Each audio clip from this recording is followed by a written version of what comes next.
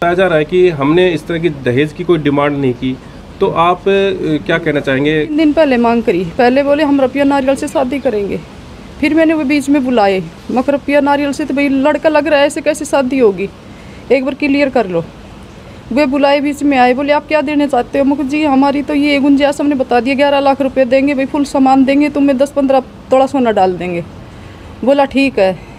उन्होंने देख लिया, इतना दे रहे हैं तो आगे और भी कुछ देंगे। तीन दिन पहले उन्होंने फिर मांग की कि ये अंबिका कह रही थी कि बाबा मेरे को तो एक गाड़ी देना, मेरे को और कुछ मत देना। बाबा ने कहा कि ठीक है बेटा, मैं तेरे को गाड़ी दूँगी, बेटा कौन सी गाड़ी लेगी? बाबा, मैं वरना गाड़ी लूँगी।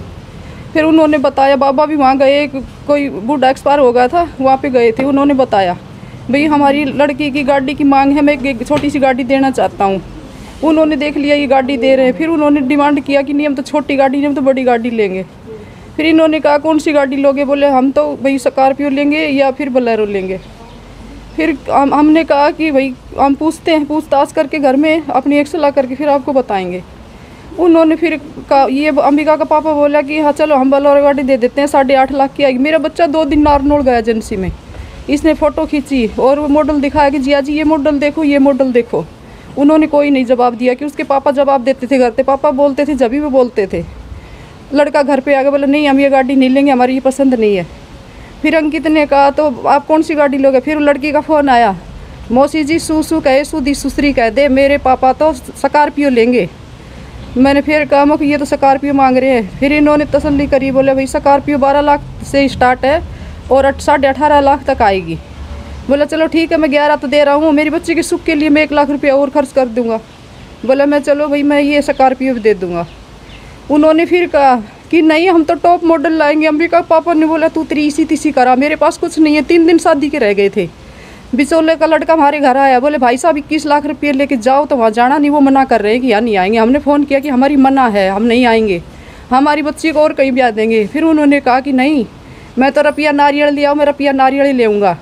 और उसके बाद में देखेंगे क्या होता है। मैं बोली, जी, आज देख लेना। बोला, नहीं, मेरे तो किसी ने बोली मार रखी है कि ये कोठी बनाई है। ये किसी रिश्तेदार के ऊपर बनाई है और तुम किसी को लूटने की वो कर रहे हो? मैं अब सोड़े में तो रुपया नारियल लूँगा बाकी मैं पीछे जो कुछ लेना वो आप मेरे को आस्ते आस्ते देते रहना। जी मैंने आस्ते आस्ते आस्ते आस्ते करके भी मैंने पंद्रह लाख रुपए उनको दे दिए होड़ा होड़ा कभी लाख कभी दो लाख कभी ढाई लाख। मैंने मैंने ये सोचा मेरी बच्ची को सुख मिल जाए मेरी बच्ची को सुख मिल जाए। मेरी बच्ची की उस घर में इज़्ज़त हो हम इज़्ज़त वाले आदमी हैं। मेरी पढ़ी लिखी लड़की है समाज में हमारी इज़्ज़त रह जाए। उन लोगों ने सब चुपके चुपके से डर लिया फिर उन्होंने कहा कि ये जो सोफा है, मैं इस पर रिलैक्स होकर नहीं बैठ सकता। मखू जी, कोई नहीं, कभी छोटा बच्चा होएगा, हम छूचक में सोफा दे देंगे आपको। ये आप डाल लो। आपका तो बहुत बड़ा घर है। शादी थे पंद्रह दिन बाद में उसने बटे, उन्हें कहा, योगेश ने, कि आपने एलईडी छोटी दी है, इसमें वाईफाई नहीं है, इसमें ये नहीं है, उसमें वो नहीं है। फिर मैं अंबिका बोली, मम्मी, ये ये एलईडी के लिए चिल्ड चिल्ड करता रहता है। मैं बेटा, तू एक काम करी, इसको महेंद्रगढ़ भेज दे। मेरा बेटा अंकित और मैं, हम दोनों गए, वो दोनों पापा, बेटा गाड़ी में वहाँ से आए हैं। उन्होंने एलईडी पसंद करी। जो महँगे से महँगी एलईडी थी, उसके हाथ लगाए हुए सत्तर हज़ार की, बहत्तर हज़ार की बोली थी। उन्होंने सत्तर हज़ार की दी वो लिखत धरी है वहीं पे। एजेंसी में, वह जाके देख लेना आप। शोरूम में उसकी लिखत धरी है। शादी के पंद्रह दिन बाद में मैं दूसरी एलईडी दिवा का यूँ सत्तर हज़ार की। वो लेके चले गया फिर बोले, तेरे पापा ने ऐसे नहीं दिया, वैसे नहीं दिया। बोले, मेरे को इक्कीस लाख रुपये चाहिए। मेरी गाड़ी की कीमत चाहिए। तो इस घर में इज़्ज़त मिलेगी। नहीं तो इस घर में तो तू हमेशा बेशा रूप में रहेगी। और या घर में नौकरानी बन के रहेगी। मेरे भाई की भी औरत रहेगी, मेरे पापा की भी रहेगी, मेरी भी रहेगी। उन्होंने कहा, उसका भाई ने भी मेरी बेटी के ऊपर हाथ डाला, उसके पापा ने भी डाला। मेरी बच्ची ने उनको सबको डांट फटकार मारी। उसके बाद में वो इतनी नफरत करने लग गए कि ये हमारे घर में सेट नहीं होगी इसको साड़ी को मार दो या इसको काट दो या इसको तलाक दे दो। मैंने बच्ची से कहा, बेटा, तेरी पार नहीं पड़ेगी, तू तलाक ले ले। बच्ची बोली, नहीं मम्मी, मेरे पापा समाज में बैठते हैं, समाज में रहने वाले मैं तलाक नहीं लेऊँगी मम्मी जैसे तैसे करके मैं इनको सब लाइन पे ले आऊँगी सब ठीक हो जाएँगे। मम्मी मैं सर्विस लगूँगी। हो सके मेरी सर्विस को देख के खुश हो जाएँगे। लड़की सर्विस लगी हमने फ़ोन किया कि आपकी बेटे की वो मग सर्विस लग गई है। उन्होंने कहा कि तेरी बेटी की नौकरी से मेरे कोई खुशी नहीं है। लगी होगी लगी होगी तो। मेरे कोई खुशी नहीं है तुम्हारी बेटी की नौकरी से। तो उन्होंने बताया था जैसे उनको जैसे आपके ऊपर जैसे दो तीन आरोप भी लगाए हैं उनके परिवार वालों ने हाँ। भी वो तो अपनी बेटी को हमारे यहाँ भेजते नहीं थे। हाँ। करीब साल भर में एक डेढ़ महीने ही वहाँ रुकती थी। वहाँ रुकने ही नहीं देते थे। जाती थी, दबी भी गन कर दे। मेरे गाँव की पंचायत गई, बीस बार गए। मैंने, मैं पुलिस रिपोर्ट भी कर दी, सारे काम कर दी। वहाँ लड़की को रहने ही नहीं देते थे। वो जो लड़की के साथ चाहती थी वो काम लड़की करती नहीं थी और वो लड़की के साथ जब जभी लठ बाजी बजा कर लड़की को मारते कूटते एक बार तो योगेश ने पैड़े में से नीचे गिरा दी लड़की। उसको तो सीढ़िया की पाइप थे आगे पाइप पकड़ लिया उसने। तो वो बता रहे थे जैसे वहाँ जो उनके ताऊ हैं वो बता रहे थे जब जिस टाइम जो जब उस रात डेथ हुई थी तो आपसे झगड़ा भी हुआ था उनसी उनका भी बता रहे हैं। हाँ जा झगड़ा। आपने पिछले इंटरव्यू में सुना था झगड़ा हुआ हाँ हाँ झगड़ा हुआ। उसी रात की बात है जिस टाइम डेथ हुई थी। हाँ हाँ हाँ। मैंने कहा योगेश बोली, मम्मी, मेरे बोतल मार रहा है, बोतल मार रहा है। या, आप ये बताओ, हज़ार किलोमीटर हम कैसे जा सकते एक सेकंड में? मैं बोली, मग योगेश मगर और लड़की के हाथ मत लगा देना। अगर लड़की के कुछ हो गया, योगेश, मैं तेरे को बख्शूँगी नहीं। योगेश, तेरे को, मम्मी, मेरे बोतल ही बोतल मार रहा है, बोतल बोतल मार रहा है। मैंने श्याम ने बेटी को समझा दिया, बेटा, माँ माँ भी आ रहे गाड़ी लेके। ने बोले, बड़ी, तेरी माँ के पास फ़ोन कर देती थी, बुला ले तेरी माँ को। बड़ी बात तो दस मिनट में बुला लेती थी, बुला ले तेरी माँ को। तो अब क्या चाहते हैं सरकार से? क्या किस तरह की मांग कर? और जो ये गंदे लोग हैं इनको सबको सजा दी जाए सख्त से सख्त सजा दी जाए। और जो लेडी जो बिया से आ रही है एक नंबर की गंदी लड़की है सुसरे के साथ मैंने देखी और जेठ के साथ मैंने देखी वो। ठीक है? हाँ। वो ये कह रहे थे कि उस अंबिका का व्यवहार ठीक नहीं था उसके साथ। अंबिका का एक नंबर का एक नंबर का करेक्टर था कहीं भी। उसके सेंटर पे पूछो उसके वहाँ जा सर्विस कर रही थी उस सेंटर में पूछो उसकी पढ़ाई के स्कूल में पूछो अगर कहीं भी मेरी बे, बेटी का एक भी शब्द गलत लिखड़ा है उसी दिन आपके याद वो सजा मेरे को देना। ठीक? ये बोल रहे हैं कि वो हमारे घर नहीं रुका करती। योगेश का पापा की हमारे पास रिकॉर्डिंग है उसमें ये बोल रहे हैं कि मैं अपने घर नहीं लेके आऊँगा। योगेश से बात कर रहे हो वो प्रूफ हमारे पास है। वो खुद बोल रहे हैं कि मैं इसको घर में नहीं लेके आऊँगा वहीं रहने थे इसको। वो तो कह रहे थे हम लोग लेने भी गए थे आप लोगों ने भेजा नहीं। नहीं सर वो प्रूफ हमारे पास है। उसमें वो बोल रहे हैं रिकॉर्डिंग में दोनों पापा और बेटा दोनों बात कर रहे हैं। तो पापा वो कह रहे हैं योगेश के लिए नहीं मैं नहीं लेके आऊँगा वही रहने दे उसको। तो उनके परिवार वाले जैसे बता रहे हैं हमने पूछा था वहाँ पे भी डेड बॉडी लेने के लिए हम गए थे सत्तर अस्सी आदमी यहाँ पे आए थे उन्होंने डेड बॉडी देने से मना कर दिया। कोई नहीं आया सर ये पूरा गाँव था। उनके पास रिकॉर्डिंग भी उस चीज़ की। नहीं पूरा गाँव था किसी से पूछ लिया अगर कोई भी आया होती यहाँ पे। वे आए हैं जब दाह संस्कार कर दिया था उस टाइम करने के बाद आए हैं। हाँ करने के बाद। पहले नहीं आए। उससे पहले नहीं आए। तो उन्होंने कहा कि जो हमने मना कर दिया था हम आ रहे हैं वहाँ पे दाह संस्कार भी उन्होंने जल्दी कर दिया किसके पास फ़ोन किया उन्होंने? आप ही के पास बता किसी के पास फ़ोन नहीं किया अभी तक फ़ोन नहीं आया है। और बताया जा रहा है कि जो वहाँ जो हम आपकी जो सिस्टर थी उनके दाह संस्कार हुआ तो उसी टाइम आपने फूल भी जैसे वो तुरंत उठा हाँ तुरंत उठा लिया था जी क्या वो कारण था उसका?